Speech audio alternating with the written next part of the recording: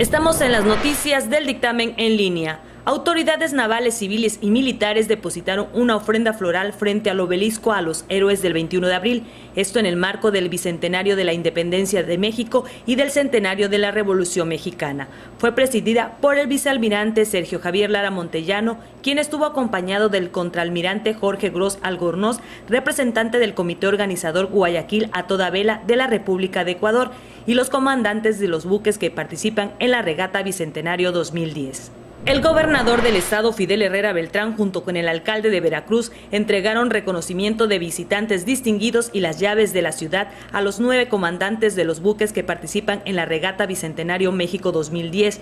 El acto se llevó a cabo en la sala de cabildo del Ayuntamiento de Veracruz, en presencia de autoridades navales, civiles y militares, como muestra de agradecimiento y fraternidad con los países participantes. El gobernador del estado, Fidel Herrera Beltrán, afirmó que en la visita que realizó ayer a este puerto, el presidente Felipe Calderón Hinojosa, con motivo del inicio de la regata Bicentenario 2010, le pidió su respaldo para que el Instituto Nacional de Antropología e Historia libere cuanto antes las obras que pasan por Tenaristanza y que están detenidas. Desde el lugar de las 400 plumas, la Sierra de Songolica, el candidato al gobierno del estado de Veracruz, Javier Duarte de Ochoa, aseguró que en su administración ser indígena no representará nunca más sinónimo de pobreza y marginación.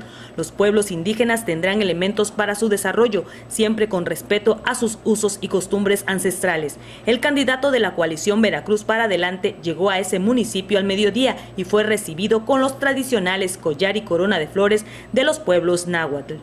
Ainara Rementería Coello, candidata de la coalición Vamos para Adelante a la Diputación Local por el Distrito 20, manifestó que su compromiso es apoyar a la juventud, pues en la ciudad y todo el estado hay gente muy valiosa a la que deben ayudar para que terminen sus estudios e inicien nuevos proyectos dijo que desafortunadamente no existen las condiciones económicas para que los jóvenes se inserten en la vida productiva, pues el 45% de los egresados no encuentran un empleo de su profesión, por eso se dedican a otras actividades.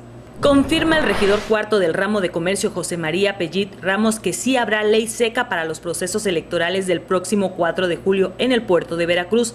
El funcionario explicó que de acuerdo al artículo 238 del Código Electoral del Estado de Veracruz, establece que durante la jornada electoral y un día antes queda suspendida la venta de licores y bebidas embriagantes en los municipios del Estado de Veracruz. Al año se registran 650 muertes y más de mil personas quedan incapacitadas de por vida a causa de los accidentes viales, donde es importante fomentar en todos los niveles de la sociedad las medidas de prevención para frenar los índices que revela el Consejo Nacional de Prevención de Accidentes. Arturo Cervantes Trejo, secretario técnico del Consejo Nacional de Prevención de Accidentes, dijo que las principales causas de accidentes viales son provocados por el excesivo consumo de alcohol y la falta de precaución. Anuncia el presidente Felipe Calderón una serie de medidas para impulsar el sector automotriz y apoyar a las familias que quieren adquirir un automóvil nuevo, entre las que se encuentran la eliminación gradual de la tenencia.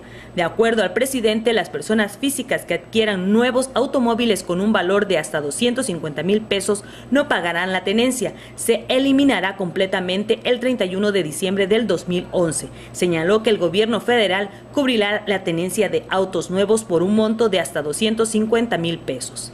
12 jóvenes perecieron y 14 resultaron heridos, algunos de origen latinoamericano, al ser arrollados por un tren cuando cruzaban las vías para ir a una fiesta en la playa en una estación de la costa noreste de España.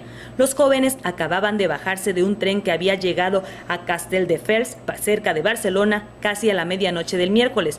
En lugar de salir de la estación por un paso subterráneo, unos 30 de ellos lo hicieron por las vías, dijeron testigos.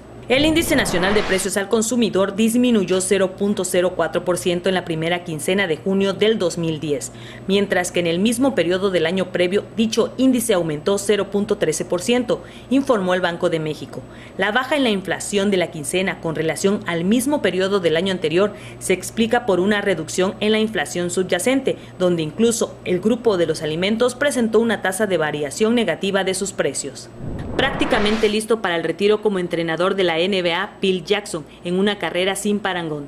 No obstante, los Lakers de Los Ángeles confían en que cambie de parecer la próxima semana. El entrenador campeón en 11 ocasiones en la NBA considera el retiro tras una temporada llena de conjeturas sobre su salud y su futuro. Jackson está a la espera de los resultados de una nueva serie de exámenes médicos para transmitir su decisión definitiva al dueño de los Lakers, Jerry Buss, a fines de la semana próxima.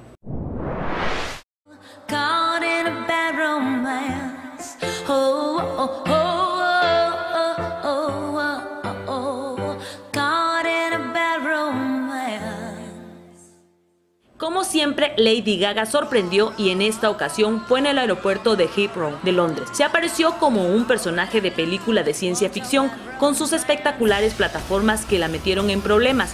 La cantante portaba un atuendo negro, una especie de falda abierta de frente y con una gran cola. Pero lo más llamativo resultó su calzado, unas botas de plataforma que la hicieron tropezar y perder el balance. Y mire usted, caer ante la gula, lujuria, avaricia, soberbia, pereza, ira y envidia harán que lleguen al orgasmo y disfruten más de su relación. Los siete pecados capitales son una clasificación de vicios mencionados en las primeras enseñanzas del cristianismo y catolicismo. Estas faltas nunca fueron tan divertidas y excitantes. Algunas de ellas te harán sentir en el cielo y otras evitarán que tu relación termine en el fracaso. En el terreno de lo sexual, sácale partido. Recuerda que nunca se sabe demasiado. Si tu pareja es experta en algún tema, apréndele y contágiate. Después de esto, pecar no costará nada y al contrario, la experiencia ganada será digna de enseñarse. Esto es todo, nos vemos mañana.